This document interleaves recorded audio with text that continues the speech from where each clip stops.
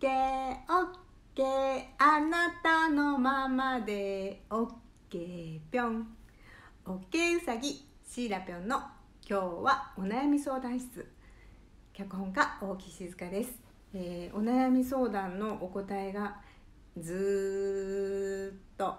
長くなってしまいごめんな。ぴょん。というわけであのなかなかお答えできないお悩み相談室ですけど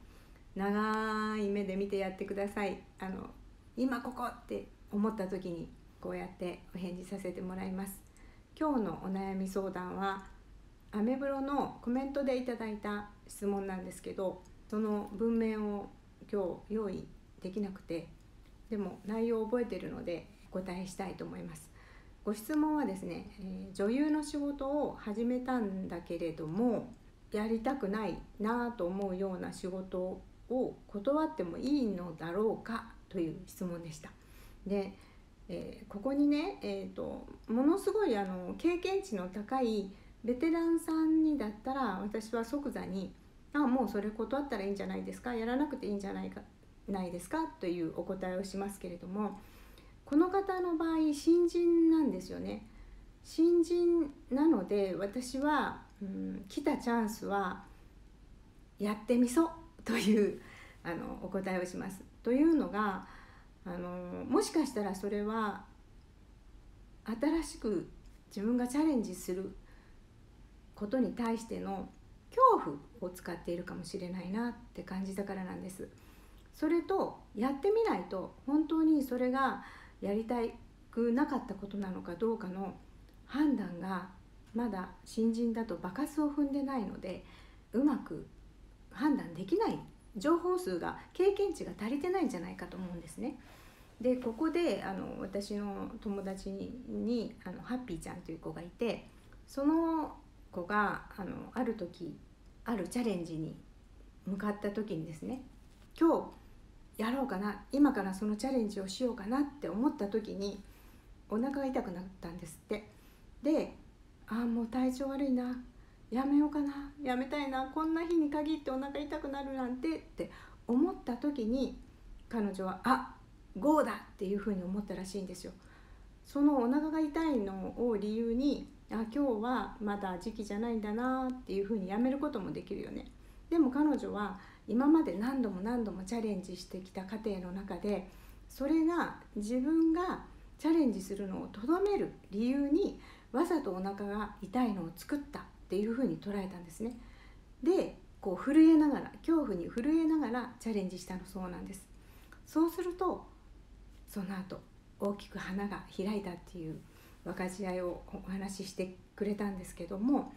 えー私もそういうふうな捉え方をします。特に初めての出来事に関しては、うん、怖いなと思うことほど、えーチャレンジします。でも今日のお悩み相談の方は怖いなっていう捉え方はしないでそれはやりたくないなっていう風な、えー文面からのエネルギーだったんですね。でそのやりたくないなが本当に興味がなくてやりたくないのであれば断ればいいしその仕事を断っても他に仕事がたくさん来ている状況だったら断ったらいいと思います。でも女優の仕事って本当にどんなところからあの芽が出るかチャンスをもらえるかわからないんですね。私があの昔々大昔なんですけど女優にチャレンジしていた時に共演した女優さんがテレビのワンシーンしか、えー出番がなくてだけどその後ろ向きに去っていく時にお尻をかきながら去るっていう演技をしたらもう演出家の人にすごい気に入られてその後大きな役をいただいたっていうことを聞いたことがあります。そんな風にどこにチャンスが転がっているかわからないんですね。あのこれは私あの婚活をやってる人にも言えることでお見合いとかいい人に出会えないからワクワクする人としかデートしないみたいな人がいるんですけど私はですねちょっとでもものすごい嫌じゃなければデートしてみたらいいよと言ってます。というのは体験がすごく大きくてなんか今の人たち今のこの社会の風潮ってなんか妄想とかイメージとかあそうそうそう SNS の流行でリアルじゃない体験をしてもうやった気になってるだからデートとかあとその今日のお芝居の挑戦お仕事とかも何にもまだやってないのにやった気になってそれでとどまっているっていう気がするんですよね。で生の体験ほど大きなものはありません。このなんかこうリアルじゃないこの虚構のファンタジーの SNS の世界での交流よりもやっぱり実際に会って相手とお話しすることの方が何か大きな進展とか大きな転がりがありますよねもちろん SNS とか生ではない交流もそれはそれで面白いとは思いますけども私は何て言うのかな作家だからかな。やっぱりこう血肉湧き踊るっていうんですかね。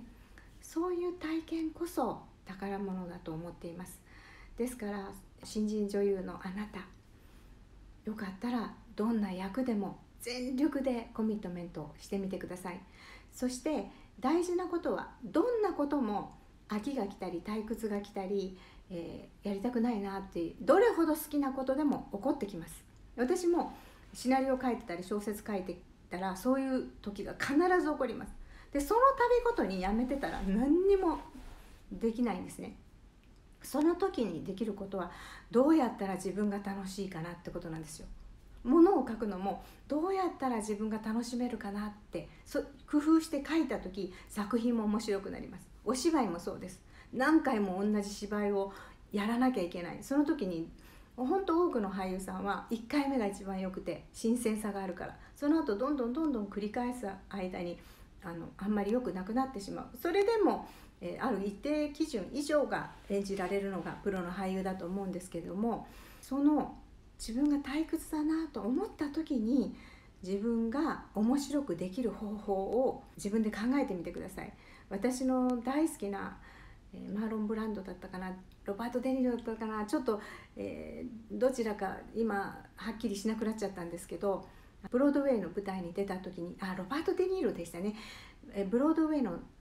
舞台に出た時に何回も同じ舞台をやってると飽きるじゃないですか。だから相手役のコップの中にゴキブリのおもちゃをコーヒーをあのあげるっていうシーンにゴキブリをこう渡すっていういたずらをしてみたりですね。押し入れの中に隠れててそこから出てきたりして相手が本当に新鮮な演技ができる工夫をしたらしいんですね。私があの体験した中では「カラマーゾフの兄弟」っていうドラマをのシナリオを書いた時に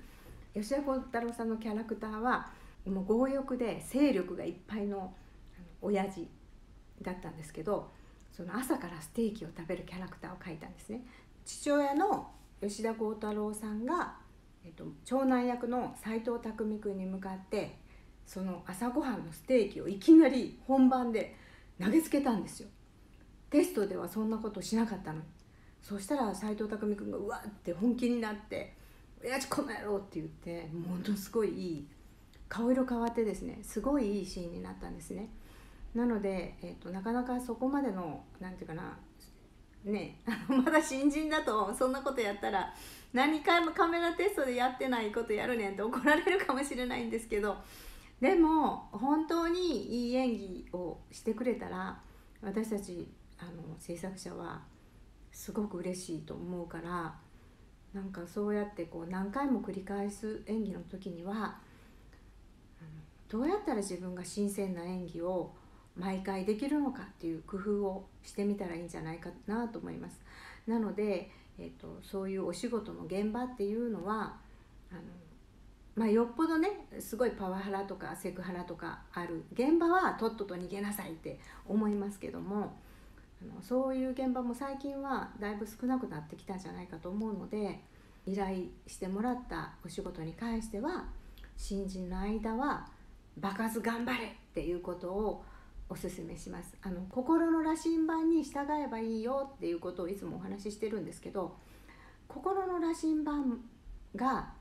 たまに鈍ってることもあるしあとさっきも言ったみたいにあの逃げたい。怖いから例えば体の不調を作ったりあと何か、え例えばわざと遅刻をするように電車の遅れをやらしてみたいんですね。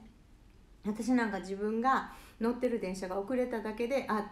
今から行くところに対して抵抗が起こってないかなっていうことを自分の中でチェックしたりしています。なので新人女優のあなた現場で会えることを楽しみにしてます。大きも頑張るよ。ポンポコ。じゃあね。バイバーイ。